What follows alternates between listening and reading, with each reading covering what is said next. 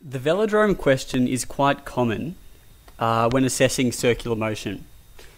A velodrome is a an angled track that bike riders ride around. And in physics, since this is circular motion, we usually say that the track is going to be circular.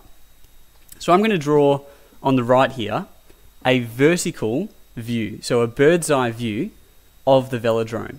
Here's the outer rim of the velodrome. Here's the inner rim. And then this green line is the path that the bike rider is going to take. Around like that. And what we're going to also show in a second is that this edge of the track is much lower than this edge here. This edge is raised up into the air. So this bike rider is following that green track around on uh, on a track that's slanted towards the middle there. So if you roll, if you put a ball there, the ball would roll down. If you rolled a ball in that direction there, it would probably roll towards the center like that.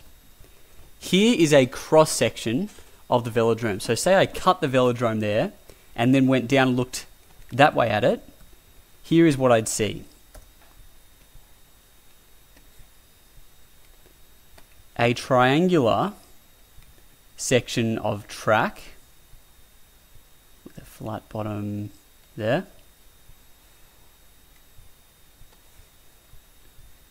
With the bike rider, we'll model him as a box sitting on this track. We'll say he's over here.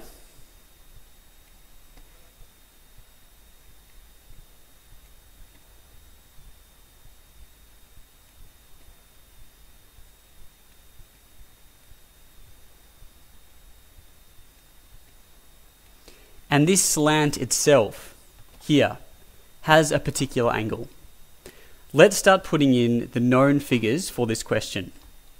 The angle of the track there is 30 degrees. So this looks a lot like a mass on a slope question. And it is, but we combine it with circular motion to make things more challenging. The radius of the path of that green circle we'll say is 60. So this looks a lot like circular motion. It's an object moving in a circle at a radius of 60 meters. The unknowns we want to find are first of all the normal force of the track on the cyclist here. I've written here there's no friction. So there's only going to be two forces acting on this object here. We'll say its mass 60 kilograms. There's going to be a gravity force acting directly downwards, and then a normal force acting at right angles, as it always does. But then there's not going to be any resistive forces in either of those directions. This allows us to solve the question uh, with very few starting knowns. So we'll find the normal force. We'll find the sum of the forces to the center. Because the bike rider is moving in a circle at a constant speed, we'll say, we know he's going to have to obey that uh, circular motion force formula up there. And the final two unknowns we'll find are velocity and the period, the time it takes him to complete one lap around the velodrome. Okay, let's get started. Drawing a force diagram is often the best way to start these questions because you can work out how many forces you actually know. We know that the gravity force is always given by the mass multiplied by the gravitational constant. In physics, it's 10. In specialist maths, it's 9.8, which is more accurate. We'll use 10. So there's a 600 Newton force acting directly downwards on this cyclist. Then we have the normal force, which we'll just for now label with an N. Now, before we said the cyclist is moving in a circle. That means he must obey this circular motion formula here. And the concept of any object moving in a circle at a constant speed is that the net force points towards the middle of the circle like so. So on this picture, which way will that force be pointing? Some people say it's down like that because they're thinking, oh yeah, the center of the velodrome's uh, down there. That's incorrect because the path the bike rider follows actually lies in that plane there. So the net force on this cyclist actually has to point in that direction there. And actually I'll extend this normal force up a little bit for reasons which I'll reveal in a second. So the net force on the cyclist is in that direction there. Ask yourself, if the net force has to be perfectly horizontal, what has to happen to all the forces acting in the vertical direction? They have to cancel down to zero. So I'm going to draw that red line actually as dots because it's not a real force, it's the net force. That normal force, however, has two components a vertical component, which I'll draw as a dotted purple line, and a horizontal component, which I'll also draw as a dotted purple line. You can now see that this part of the normal force has to cancel out with this part, and the horizontal component of the normal force is what actually ends up supplying the centripetal force, the force pointing towards the center of that green circle there. So if that component of the normal force has to cancel out the gravity force, it has to equal 600 newtons in the vertical direction. Whoops, sorry. Yeah, bit of a sick computer here. 600 newtons.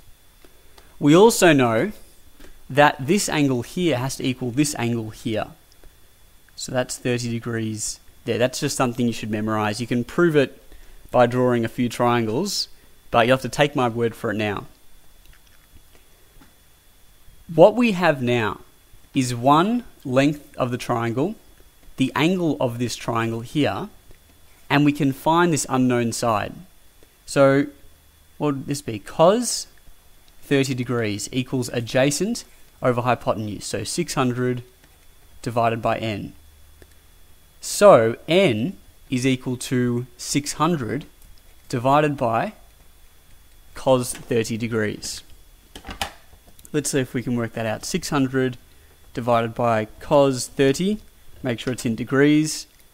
I have 693 newtons. So the normal force must be equal to 693 newtons to give that 600 newtons of vertical component which cancels out the gravity force. Now, we said before, the horizontal component of the normal force is actually what supplies the net centripetal force. What is this length here? So we have this side of the triangle at 693 approximately and we know that sine 30 degrees equals opposite over hypotenuse, which is equal to that force there. We'll say that's just normal horizontal component, so that's normal horizontal, over 693. So if we multiply sine 30 degrees by 693, we should get that horizontal component, and it's three four six point five. We'll say we'll say it's three four seven. We'll say it's three four seven. Three four seven. The reason I hesitated there is six nine three is actually a bit of an overestimation. So I was tempted to say it was three uh, four six. But let's stick with the result. Let's stick with proper rounding because that way the examiner can't fault us. So the horizontal component of the normal force is equal to 3, 4, 7 newtons. That must also be equal to the net centripetal force. Because it's the only, the normal force is the only force which acts in that direction. And this is the only component of the normal force which we can take into account. So now we're getting somewhere. We have a normal force of 693, a centripetal force of 347, and we want to find V. Can we find a formula up here which contains our knowns. We know R, R equals. We know M. We know the net centripetal force. We're trying to find V. So we tick, tick, tick. We can find the last one there. So we have 3, 4, 7 is equal to m, which is 60, times v squared on 60. Oh, r is also 60. That's convenient. So now we... Oh, we can actually cancel that down. That's interesting. So v squared is equal to 347. The square root of 347 is equal to v. And I have 18.6 meters per second. So the velocity this cyclist is travelling at, or actually we'll say the speed, since this v is speed, is 18.6. Now the period. If he's travelling at 18.6 meters per second, and the circumference of the circle is 2 pi r, so that comes to 120 pi, then the time it takes is equal to the distance over the velocity. That's 120 pi divided by 18.6 that comes to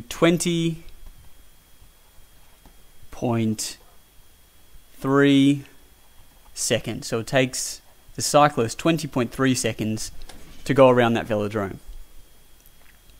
Let's look at some implications of changing his speed. When you see a roulette ball rolling around a roulette table, it spirals towards the middle and then goes into one of those slots. If the cyclist's speed were to decrease, then he'd slowly move towards the centre like that. If the cyclist's speed were to increase, he'd move away like so. And that's because the normal force on the cyclist cannot change for a particular angle and a weight. So the amount of centripetal force also can't change for a particular weight and angle. But if we increase his speed, the force required to keep this guy moving in a circle goes up. But this force here stays the same.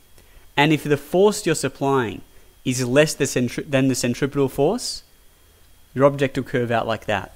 But if we reduce his speed, then the force required to keep him going in a circle is small, but we're supplying too much, so we're dragging him towards the middle. I'll try to do a velodrome question with friction because that is really the granddaddy of hard circular motion questions. And it really requires you to be able to think in these purple dotted line components because the friction force tends to act upwards like that. That's not horizontal. So we've got to break that down into vertical and horizontal as well.